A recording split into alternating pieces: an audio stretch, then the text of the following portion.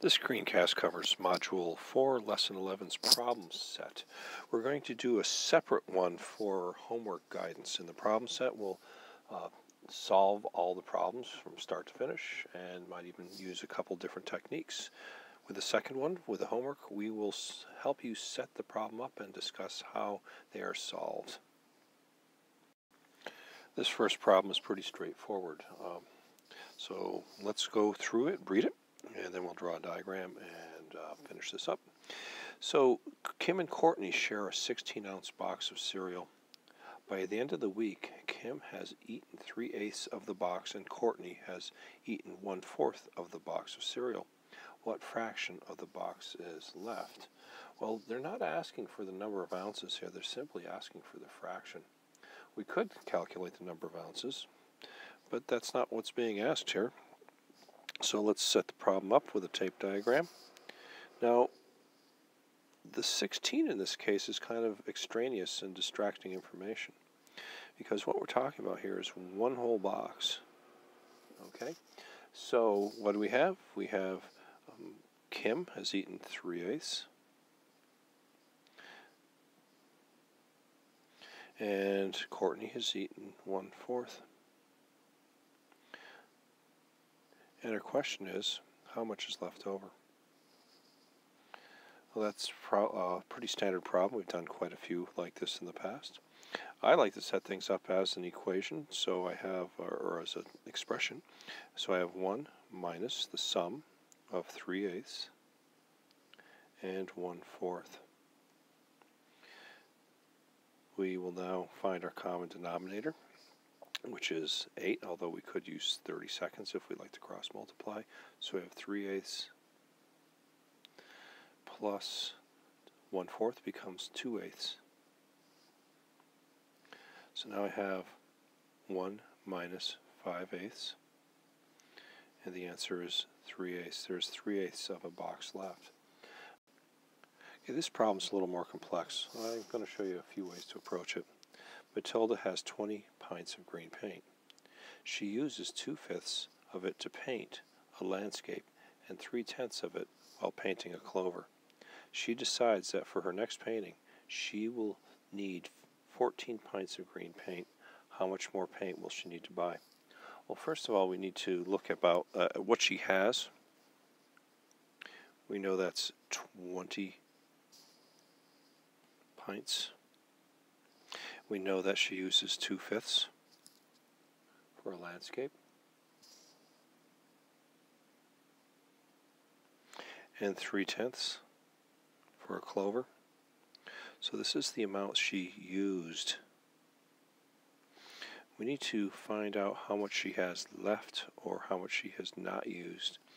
When we find out how much she has left, we can uh, look at that 14 pints, see if she has enough, and determine how much more she needs. So we want to find out what's used. We're going to use a fraction to start that. So the used is 2 fifths plus 3 tenths. And that's the same as 4 tenths plus 3 tenths equals 7 tenths. So if 7 tenths is used, the 3 tenths is left over. So if that's what's left over, we need to find 3 tenths. And 3 tenths of what? 3 tenths of 20. So I could use another tape diagram, but I'm just going to go straight to the calculation. 3 tenths times 20 equals 3 times 20 over 10. And we can divide both of these by 10. We get a 2. And we see that she has 6 pints left. How many does she need? She needs 14.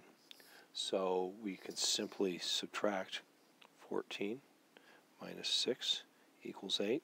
So she needs 8 more pints. Let's look at another way to solve this. We know that she has 20 pints in all, and 2 fifths is used for the landscape.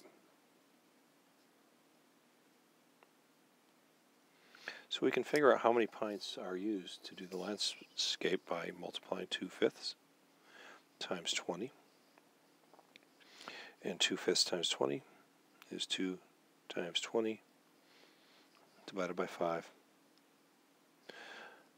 We can divide both the 20 and the 5 by 5, and we get 8 pints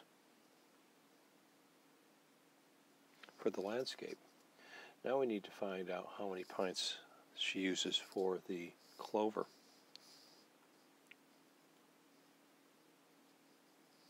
And that's 3 tenths, so it's 3 tenths of 20, which is the same as 3 tenths times 20. 3 times 20 divided by 10. Again, we can divide both 20 and 10 by 10, and we get 6 pints. So this is the amount she used. She used 8 pints and 6 pints. So the amount used is 8 plus 6 equals 14. So how many does she need? Well, we have to find out how much is left over. So this is used. And to find what's left, we have to start with a whole. 20 minus 14 equals 6. But we need 14 pints. So how many more does she have to buy? We'll have to do some subtracting. She needs the 14. She has 6 on hand. She's going to need 8 pints to finish up her job. Let's consider a third way to do this. We're, uh, once again, we're going to use that tape diagram. And we'll bracket the whole, which is 20. Now, we know that the units are 2 fifths and 3 tenths. So we can change the 2 fifths to 4 tenths. So now we're going to take our original tape diagram and partition it into 10 equal parts.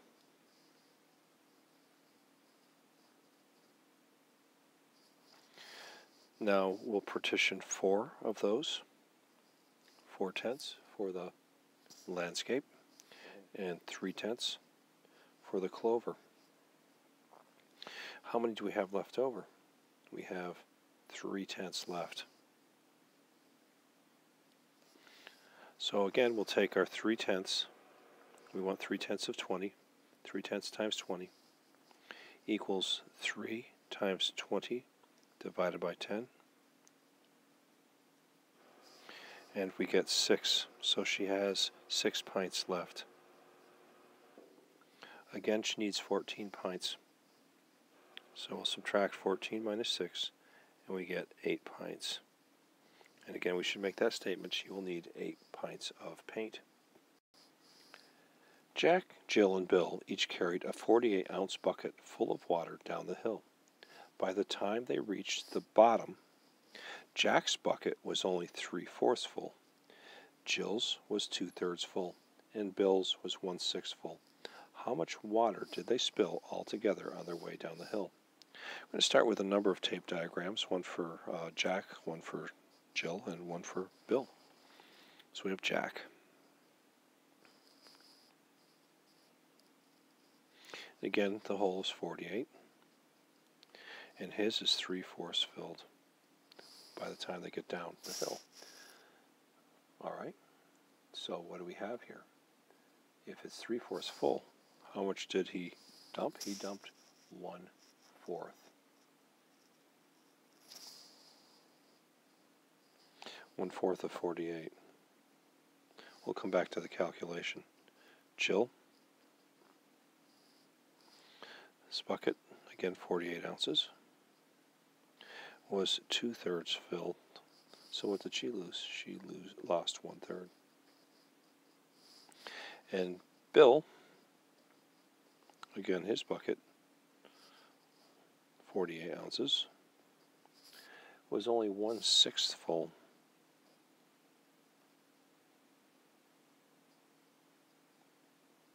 How much did he lose? He lost five, six. Okay, so now we're going to calculate how much water each of them lost. That is 48 over 4 equals 12 ounces. So Jack lost 12 ounces. This is 48 over 3. I did a little shortcut here. 1 times 48 is 48. Okay, and 48 divided by 3 is 16 ounces. And Bill is a little more complicated. We have 5 6 times 48 equals 5 times 48 over 6. Both 48 and 6 are divisible by 6. And we get an 8. And our friend Bill lost a total of 40 ounces. Now we need to find the sum because we want to know how much they spilled altogether. So we have 12 for Jack, 16 for Jill, 40 for Bill. The sum is 68 ounces. So they lost 68 ounces in all.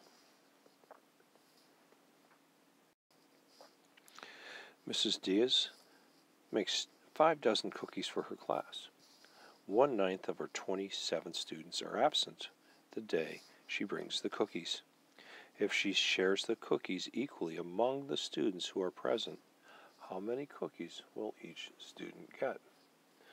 All right, let's make a tape diagram. First, we'll represent the students in the class. There are 27 students in the class, and one ninth are absent.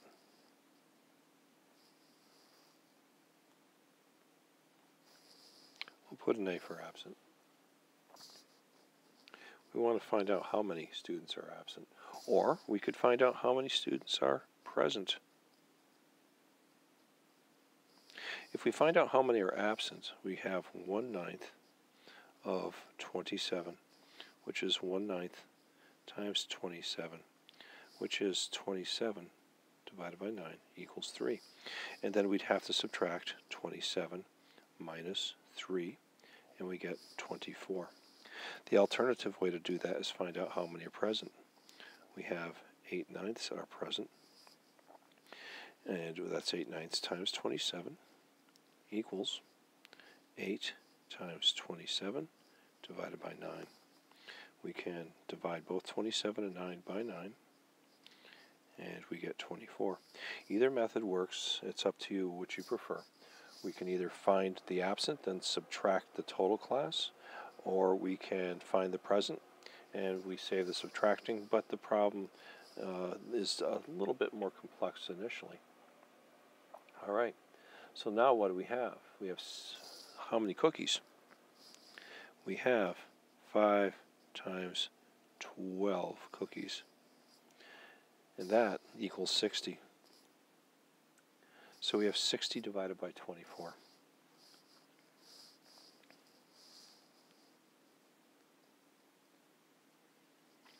Goes in twice.